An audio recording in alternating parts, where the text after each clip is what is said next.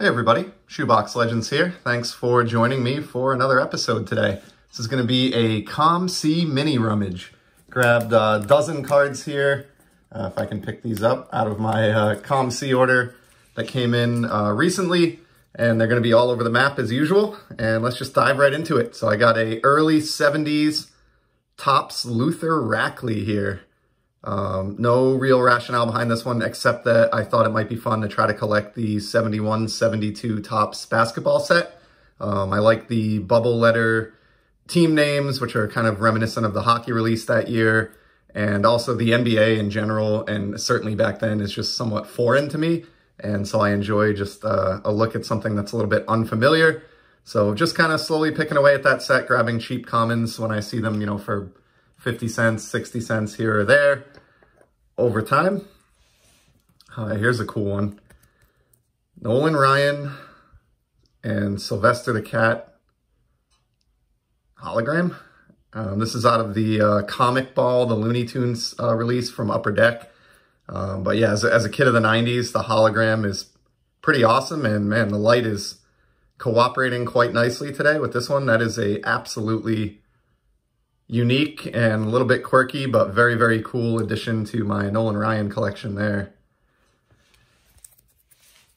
Wish, uh, I'd like to see holograms get brought back in, in some modern releases here. Ooh. Um, they're just really, really neat. Um, here's one for my 59 Topps set. Bobby Tiefenauer, probably mispronounced that, but um, just like the basketball card that I started off with here from 71, 72 Topps, this is towards uh, just a long-term slow burn set pursuit. I'm working on 59 Topps in a binder, and I think I'm about approaching the two-thirds complete mark, or getting close to 70% now, so plugging along with that. You knew there was going to be some shine um, outside of the hologram, and here we have a Sapphire Justin Verlander out of 2020 Topps Chrome Sapphire Edition. Um, I'm not going to go into it right now. I've talked about these cards so many times, but uh, I am one who counts, you know, atomic and or sapphire or cracked ice, you know, this this type technology, whatever you want to call it, um, is is definitely responsible for some of my favorite uh, parallels of the 21st century in collecting. And I'm a big Verlander guy. I know pitchers don't get a lot of respect uh, in the hobby compared to power hitters, but um, I think he's one of the best and was happy to scoop that one up cheap. Uh, here's one that was probably cooler a few years back maybe than it is now. Uh, select Fire on Ice Vlad Tarasenko rookie card. Um, this guy was an absolute sniper when he came into the league, uh, you know, maybe six, seven years ago now. Um, but he's had some injury issues over time and that have definitely affected his ability to stay in the game uh, and some of his counting stats. But um, I love Select. This is not like a Prism version or a shiny version, although those do exist. Um, but even still, when you get the light right, you can just see the etching uh, here on these select cards. It's just unmatched. Uh, Panini at its best. And of course, this came from the very limited period in time when uh, Panini had an NHL license to produce trading cards. And I'm just a big fan of their uh, hockey cards from that era. So happy to have this. And this is, of course, the blue uh, parallel, which matches nicely with the St. Louis Blues sweater. So uh, pretty cool rookie card there, even if Tarasenko you know, maybe isn't destined for the Hall of Fame like it looked like he might be in his first couple years. Uh, he's still a very good player, and I'm happy to have that one. Here's some more shine. This is out of the Stadium Club Chrome release. Love these X-Fractors, and uh, wanted to pick up this Masahiro Tanaka. Just uh, always enjoyed his time with the Yankees, even though I'm a Red Sox fan. Um, and I, I, guess I sort of have like a soft spot as well for Japanese pitchers, just having grown up in the whole uh, Hideo Nomo craze of the, the mid-90s. So uh, scooped that one up. That was like 90 cents and uh, thought that was just a cool single to have in my shiny card collection.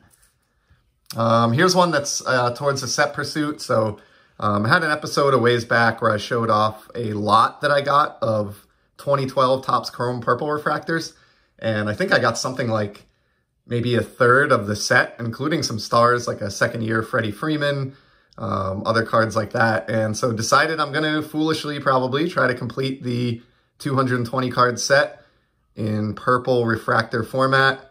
Uh, what's transpired in the time since is that uh, Bryce Harper had an amazing season and all his stuff's up like, you know, 300% or something crazy from what it was uh, earlier this year, and I am missing his rookie card in uh, chrome purple, so that's going to be a major roadblock to that set. But um, in the meantime, picking up some cheap ones here on COMC and got a nice Cameron Maybin, uh, Maybin here uh, with a pretty interesting photo. There's a football card, which is going to be the only one of this video, I'm pretty confident. But again, uh, I just love Select across all sports, love, love the wave refractor technology here. Um, and so this is a guy who, you know, ended up, as a lot of running backs do, having injury, you know, cut into his career and, and sort of left, left people asking, you know, what might have been. Uh, but at the same time, had some really good seasons. And there, there was a while there where this guy was just the darling of uh, the NFL as far as running backs go. And again, amazing etching. And, and this card was available, this parallel for, I think, like, it was definitely under a buck. Uh, I want to say I paid like 60 cents or 70 cents. So um, that one's going straight into the football card Z folio. So hockey up next here again. This is for the Whalers collection. And this is a Dougie Hamilton Hurricanes card from the uh, the Upper Deck release in, I believe, 2019. Um, the reason I went after this one, the, the Hurricanes play a couple games a year um, in recent years as the Whalers. And you can see that Dougie here is definitely wearing his uh, Whalers sweater and uh, matching green helmet. And so even though it's not a Whalers card, strictly speaking, uh, I do count these as, uh, you know, additions to my Hartford Whalers PC. And this is the uh, foil, like silver foil parallel, which is almost like a Topps Chrome type card version of this. Um, I think thanks to e-Pack, this was like 30 cents or something. Um, so it's not every day that I can add a new Whalers card, so I appreciate that one. There's a nice shiny purple and uh, good timing on this one. Guy who had a a very dominant performance in the uh, NL wildcard game this year against the St. Louis Cardinals and one of my favorite pitchers who just continues to perform at an elite level um, in, at a later age here. Max Scherzer. This is, uh, of course, from this past year's Topps Heritage release, and it's one of my beloved uh, chrome purple refractors. So this is going uh, right on into the uh, purple card Z folio. Would love to uh, complete a career run of uh, Heritage Chrome parallels for Scherzer. He's, he's just a really special pitcher. Um, all right, next up, we got two cards left here. This is one of those, uh, if, you, if you were a collector in the 90s, you definitely remember these, these Studio Gold inserts that were made to look like uh, credit cards. And I thought it was a cool concept at the time. Um, and I still think they're neat to this day. I thought it was creative to use, you know, the stat line as the credit card number and, you know, fill in the position. Uh, his MLB member since, you know, his debut date in Major League Baseball. Pretty cool to see that. And I like how the, you know, what would be like the chip or the, the bank logo uh, instead is a hologram of the team. So these are just pretty creative and a really good example of just the kind of wild all over the place stuff that was going on in the hobby in the 90s. They're not terribly expensive. And uh, I've been trying to pick up a little bit more Barry Bonds uh, just because I've really kind of softened on uh, my whole stance there over time and um, would like to see him maybe someday in the Hall of Fame, if you know, if not with an asterisk beside his name. I still think, you know, guys like he and Pete Rose, I've, I've just really softened on. So uh, don't have a lot of bonds because for a long time I wasn't really a fan. Um, so I'm trying to make up for some lost time there. And that was like a cheap grab that kind of was a throwback to my youth. And like almost every card we've seen here today was, you know, a dollar or less. And then here's one that I actually paid about $3 for, final card for today. It was just too cool to pass up from the uh, 2020, I believe it was, Topps On Demand 3D Star Wars release.